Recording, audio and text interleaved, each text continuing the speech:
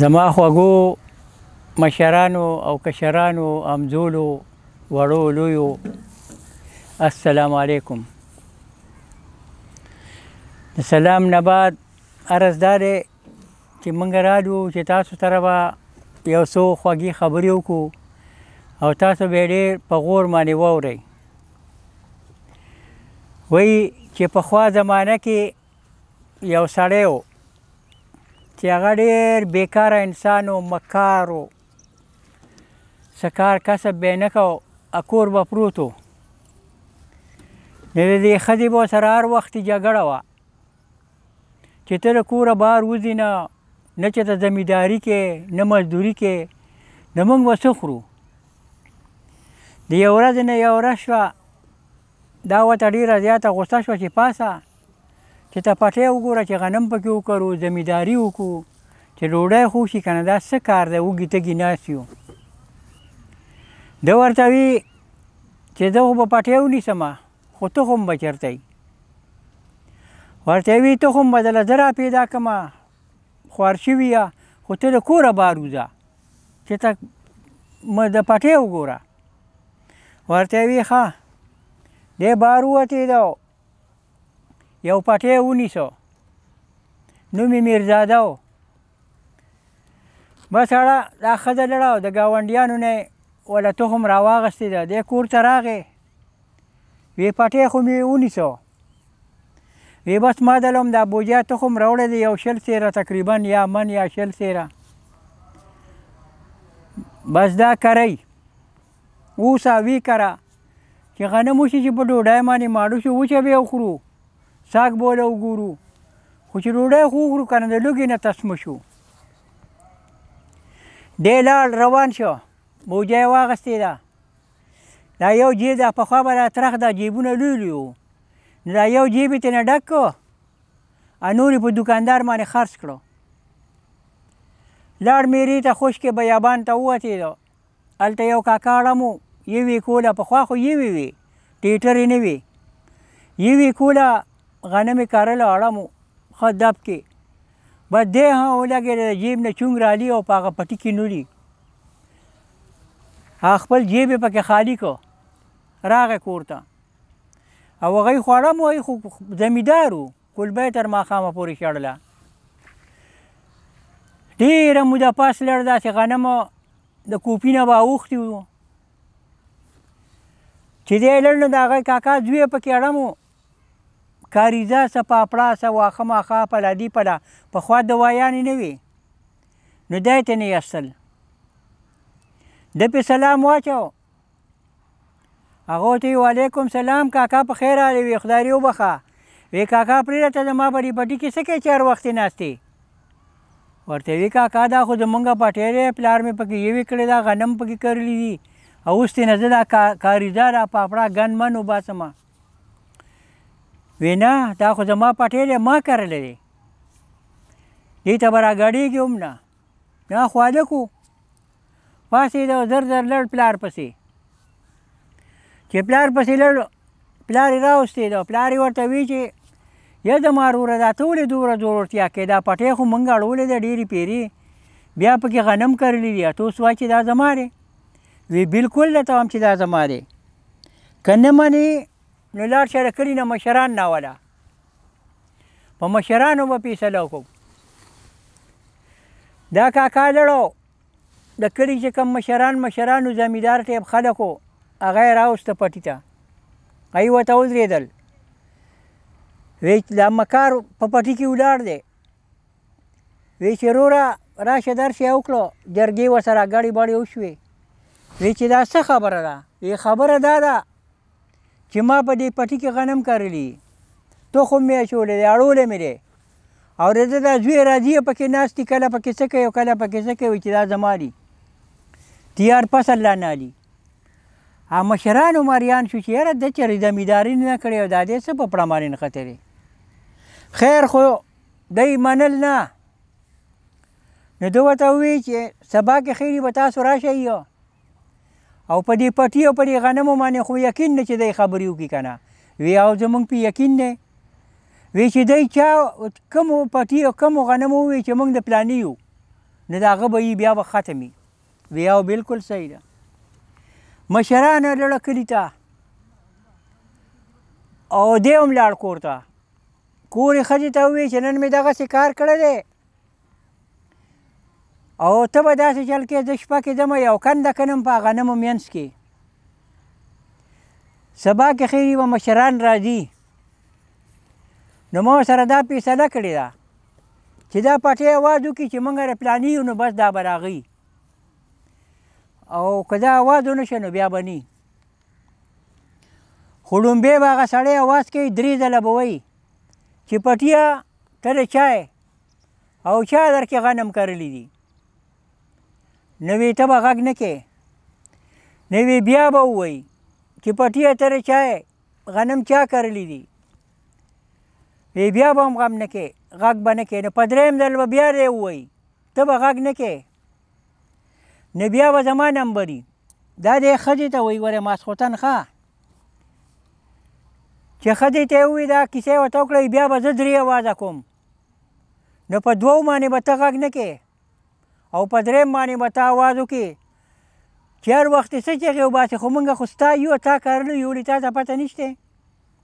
بس زه به وګټم غنم به زما شي دی لاړ او شپه کې یو کنده وکړه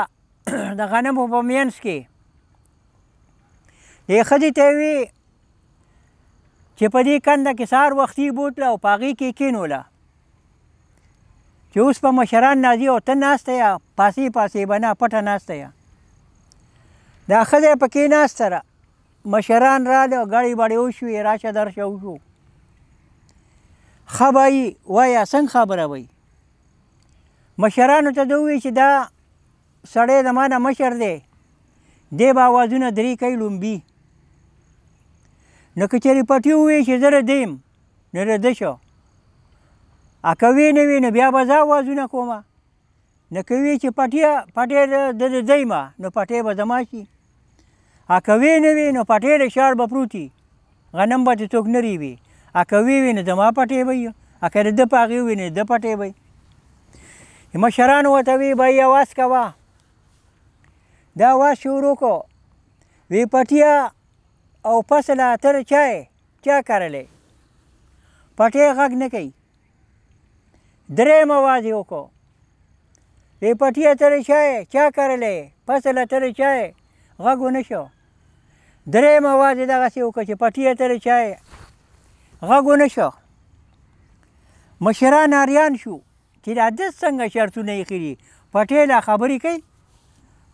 بس دی ولګېده اوس زما نمبر دی ده چغه وواله وی پټیا ته د چا یې فصل ته د چا یې چا کرلی غږ نشته او مشران ریان شوي دا د غوی زوی دی دوی مواد یو کو غږ ونه شو په درې مواد بیا په تیزه وی پټیه ته د چا یې او د چا کرلی د چا په حق کې اواز وشو وی چغې وباسې خو مونږ ورته ته ویلي دي چې مونږ ستا یو تا کرلي یو نو تا نه څنګه یور یو مونږ خو ستا یو ستا پټې مشرانو یو بل ته وکتل راتګ زیړ شو هغه زمیندار زیړ شو ځان پکې ما وواجه او واز د ده په دغه وشو مشرانو ورته وویل چې بس پټي باندې مونږ یقین کړی وه فیصله شوې ده اوس غنمه پټې رد شو او زمیندار وی چې نه ورېږه د ګاونډیانو نه تپوس کوو د ګاونډیانو نه تپوس وکړو نه یې ورته یې مونږ خو به یې نه وایو اوس که زمونږ پټي اواز وکړو چې مونږ د دوی یو نو زمونږ غنم به خراب شي د ده به شي غږ وږي ونه کړو مشران او کاکا لړو کور ته او بس دی به د غنمو نه چار چاپېره لکه زما ګرځېده ویرې بلو هغه وخت ریشرې نه وي غوبل یې وکړې کور ته غنم راوچلول ښه ډېر زیات غنم یې وشو د دوی ډوډۍ وشوه بوس یې په چا خرڅ کړه غنم یې ترېنه خرڅ کړه ورو ورو ښه مالداره شو پټي کې غنم وشو ښه ډېر یو ورځ نه یو ورځ وه ده دې ښځې ته وې چې راځه چې سیل وکړو مړې اوس خو ښه مالداره یو چکر به ولګو وېځه چې ځو دی ووته داسې میرې ته لرو موږ به په صحابه کې داسې لالبیګ ډېری والو میرې ته چې ورسېدل نو هلته کودرې کمر وي په میدان یو ډېری وه دی دې ښځې ته وایي چې دا اړه مې وایي چې دا ډیری مې اوچته واغسته او دغه میدان کې مې اواره کړې دا ښځه ورته وایي چې اواره شي نو څه به کې وی غنم به پکې کرم او په ډوډۍ به ماړه شو او دغه ځای دا ونې بوټي نو په هغې کې پیریان ناستو هغه زر زر په منډه منډه باندې لړو خپل مشرانو ته وی چې دغه یو سړی یو خزر روان دي هغه سړی وویل چې دا ډیری په سر علم او دغه ځای انوارو ما چې غنم پکې کارم هغه ډیری کې د پیریانو خار او خار کورونه آباد وو بال بچې وو ډیر لوی خار و هغه وی چې دا څنګه سړی دی چې ډیری سالم او چت عالی او ماره یې وی بس هر څه چې دی خو سهار کې خیری به راځي او ډیری به واري انو وی موږ به د په جرګه باندې ورشو چې ستا څه مقصد دی د سره لپاره ډیری واره موږ به ستا غاجت پوره کو خو ډیری ما واره وا دلته زموږ بچی دي کورونه دي موږ خو د ډیر وخت دلته دیره یو دی ولا ماسخوتن لړو او مکار ته وروړه بو وروتی دی ولا ویخه څنګه راغلی یی وی مون خبر شوی یو چې ته دا ډیره واره نه دی پوه چې دی خبره کوم څه چل دا ډیر لوی حرامي ورو مو پټا پټ په پوه کېدو ویاو کرا چټ پټ یو چې تو ما واغه ځای لګوم او وارو مې چې غنم پکې وکرم ویروره مونږه پیریان یو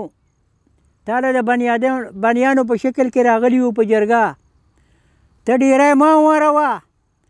او چې ستا څه مقصد دی نه به مونږ پوره کو وی زما خو دا مقصد دی چې بس ډوډۍ لپاره دغه کومه چې غنم ډیر کیږي ډوډۍ پکې کیږي وې تاله به موږ سل منه غنم درکو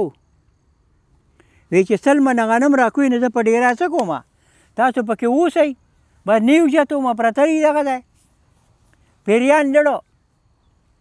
واپس لړه نورو مرګرو ته وی چې بس فیصله مونږ وکړو ډیره به نه واریږي سل منه غنم به دله مونږه په کال کې ورکو بس دله به سل منه غنم راړل او هغه به دای خوړل او څه به خرڅول او مالدار شه ډیر زیات مالدار شه مکار کور به بس کرسۍ چولې وه ټیبلې به وې ډوډۍ چرګان مرګان به یې پې خوړلو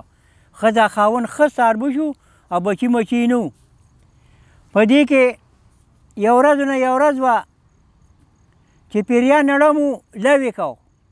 چا غنم را غونډوله چا غوبلوله او چا څه کوله چا څه کوله چا څه پاکوله یو پیری پې راغی وی چې بای دا تاسو څه کوئ ځانه لیونی کړی دی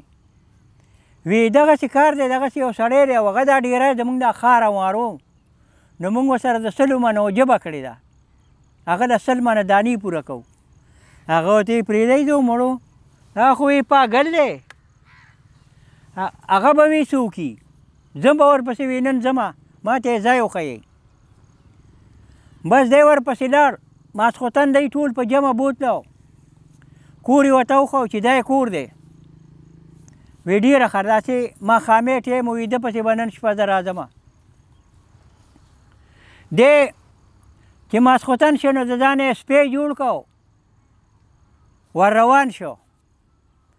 عدد یې خپلې ښځې ته وویل چې دا ډانګ واله مونږ کره یو سپی عدد شوی دی او ډېر زیات روانې کوي ګن یار دی یو ډانګ یې په خپله واغستی دی دی ورته ښه برابر کېناستېدلو اوس دی هغې سپي ته نه دی ناستو دا بل سپی و هغه به روانې کوه هغه ته ناستي دې کې دا پیری راغی د سپي په شکل کې چې څنګه را دننه شو دی پې را باندې کړې هغه ناستې ډنوار غول بتیا دې ته نه ګډ وډ وبایده هغه ورته وی چې روره وار وکړئ لږ صبر وکړئ زه پیری ما تاسو له سپي په شکل کې راغلی یم یکدم یې له ځانه بني ادم جوړ کړو تاسو له سپي په شکل کې راغلی وم په جرګه باندې چې تاسو له پیریان سل منه غنم راړي ویا راړي راله که نه ته وی څه شک ګڼي وی نه نه زه شک نه ګڼم تاسو به ډوډۍ وچه خورئ تاسو له خو سل ټیمه غوړي په کار دي چې دې سره راړي وی او دا خبره دې وی صحیح وکړه بیا یې پرېښوده کینه او په کټ کې وی کینه چې ستا څه خوښي مونږ به تاله راړو وی نه نه زه مونږ څه خورو نه خو بس هسې ناست یو بس دی خو ښه ګوشمال کوي او ډېر زیات یې ووه دی لاړ هغه نورو پیریانو ته ووی هوايي ما خو سره فیصله وکړه وی څه فیصله دی وکړه وی هغه وی چې زه وچه ډوډۍ نشم خوړی ما له به سل ټیمه غوړي راړی بس دی ورته وی چې خدای دې بیخه بنیادو باسه ته هلته څه راتلې اوس موږ سل منه غنم نشو پوره کولی نو سل ټیمه غوړي به کوم ځای ګورو دی چې غنم منم برابر کړو نو بیا ګرځېده نو پیریانو ته ټیمان میمان ځي بس سل ټیمه غوړي راړو بس بیا به د کال کې سل ټیمه غوړي ورکولو